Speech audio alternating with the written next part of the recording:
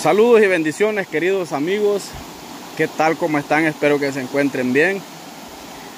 Eh, como habíamos dicho en nuestro video anterior, volvimos a este riachuelo o a esta quebrada por acá por Cantón La Isla.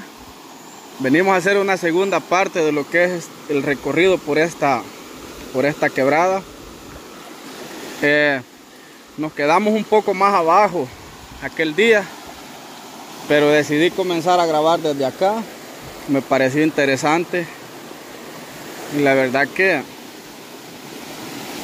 muy bonito este lugar.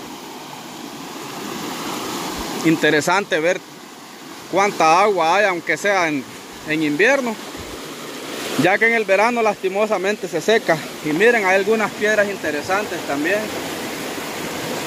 Vienen de la de la zona montañosa de donde se extrae la piedra, la piedra caliza para la fabricación del cemento Holcim.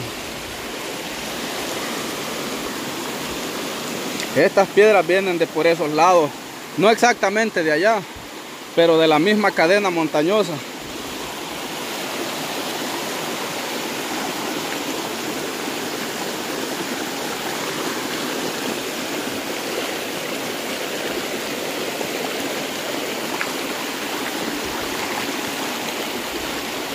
La temperatura del agua está perfecta para echarse un buen baño. Al terminar el video lo vamos a hacer porque sería un pecado capital no bañarse. Aunque el agua esta vez está un poco diferente el color. Está un poquito más turbia. Pero eso no quiere decir que no esté limpia. En realidad está muy limpia. Solo que estaba menos turbia la vez pasada.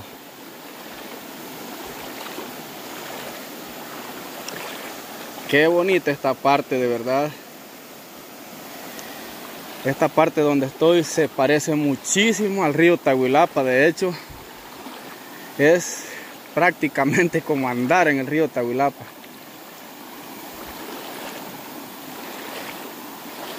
La única diferencia es que acá los peces son casi imperceptibles. Son muy, es muy diferente. Sí hay peces acá, porque allá abajo se ve cuando suben pero quizás por el color del agua. Pero no, he podido captar uno hasta ahorita pero sí sé que hay porque allá abajo se ve que están brincando hacia arriba. O a lo mejor se quedan en las pequeñas pozas de allá abajo en los pequeños remansos.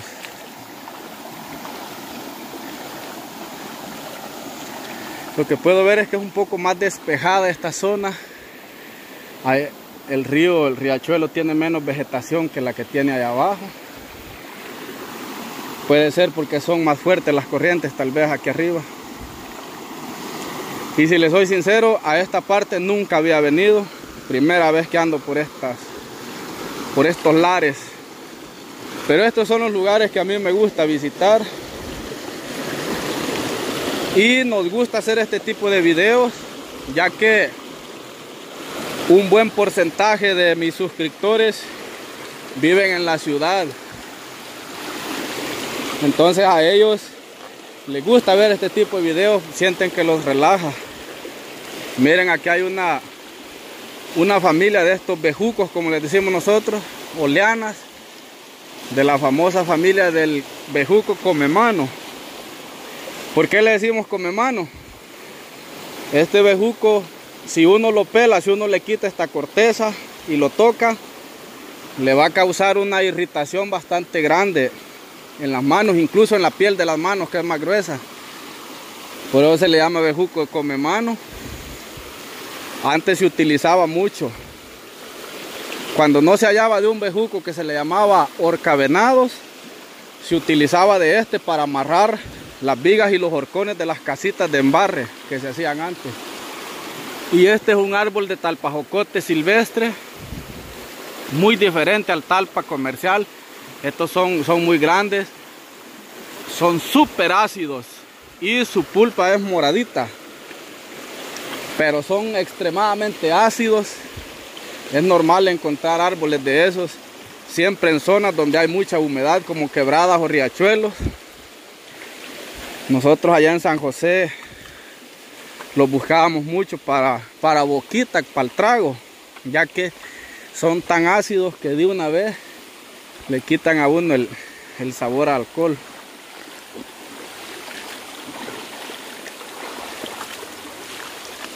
Pues yo no sé si ya ando cerca de llegar a la ceibita, pero yo escucho el sonido de unos motos por ahí. Puede ser que ya estemos cerca de ese lugar. Nunca había recorrido tan arriba esta quebrada y me dijeron que la ceibita estaba cerca, no sé. Lo que sí es verdad es que escuché el sonido de un motor de una moto. Pero pues puede ser alguna calle. Aquí andamos a, a oscuras, aquí andamos a, a expensas, no sabemos por dónde andamos.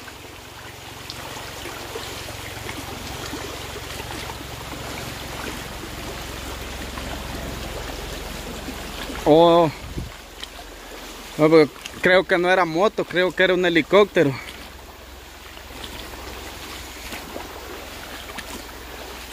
En efecto era un helicóptero el que iba pasando. Ah, pues sí. Pero allá arriba veo como una calle, quizás, no sé. La verdad que como les digo, aquí andamos en tierras desconocidas.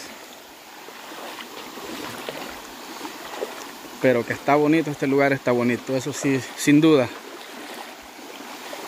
Ya, una persona. Ah, pues si por allá pasó una persona, como que allá hay un camino quizás. Dos van.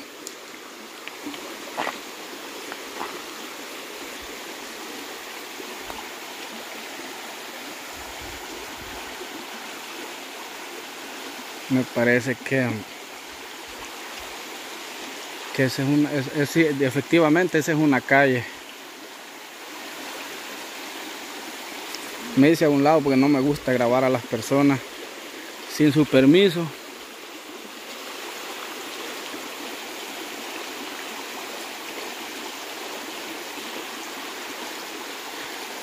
Pero sí, efectivamente es una calle. Uy, ya me calle yo ahí.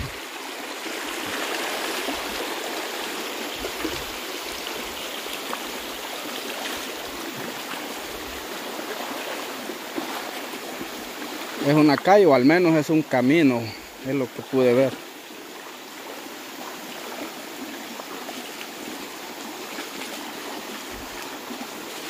Puede ser que ya esté cerca algún caserío por acá, no sé. Vamos a llegar hasta allá, esa, esa como camino, a ver cómo está la situación ahí, a ver qué se ve.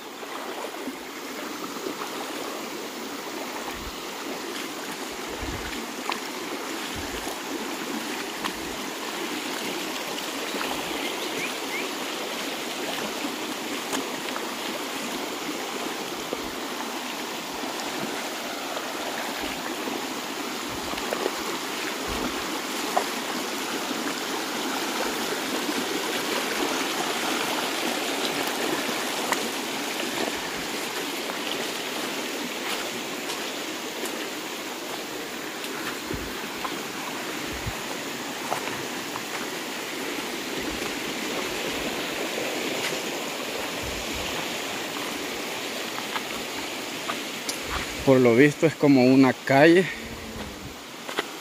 pero que el mismo riachuelo impide su paso con vehículos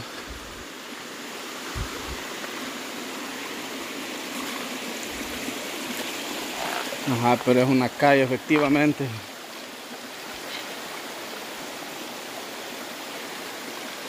¿De dónde y hacia dónde conduce? Solo la gente que vive por acá sabrá. A lo mejor por acá es la ceibita. Pero yo no sabo nada, como decía un señor por ahí. Por aquí viene otra quebradita.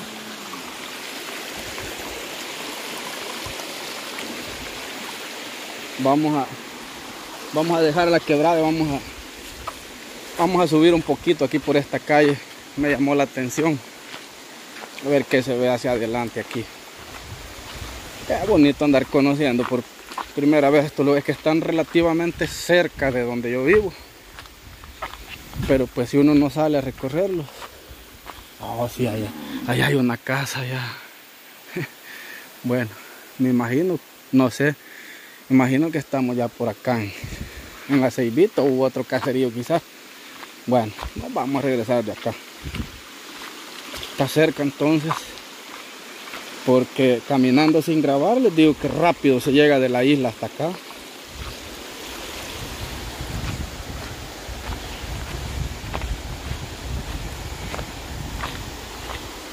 Pues qué bonito la verdad. Como les digo no sé dónde ando a ver si alguien nos puede por ahí ayudar a saber dónde andamos porque ahorita andamos totalmente a oscuras.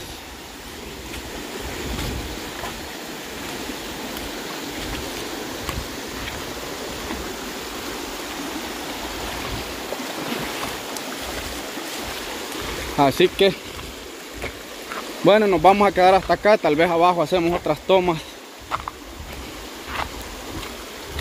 Y pues, qué bueno que volvimos a este lugar que está bien bonito, la verdad. Así que más abajo vamos a ver si hacemos otras tomas. Y si no, pues nos quedamos hasta allí. Y bueno, ya caminamos un buen trayecto de arriba hacia abajo. Pero la verdad que, como les decía, este lugar es por demás interesante.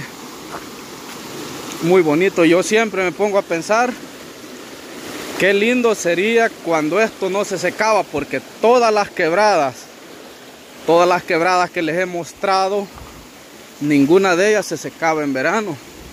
Todas mantenían, no el caudal que tienen como ahorita, pero sí mantenían un, caudal bastante grande, aunque sea en verano.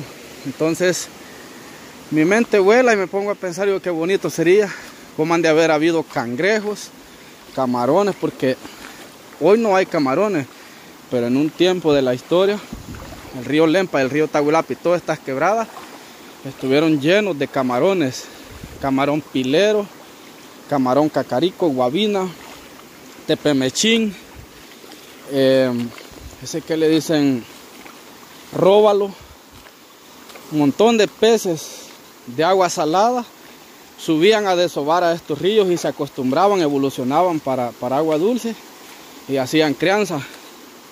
Esto fue antes de la gran creciente del río Lempa debido al, al tapón que se le hizo al río Marchala en Honduras y antes de que se fabricaran las represas hidroeléctricas sobre el río Lempa. Las represas hidroeléctricas cortaron el paso de vida marítima hacia los ríos. Muchos conocen esa historia.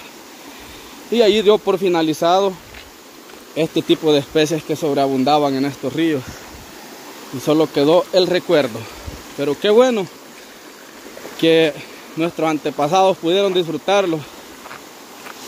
Así que quedará para la historia porque eso no se vuelve a ver. Así que amigos, saludos y bendiciones para todos.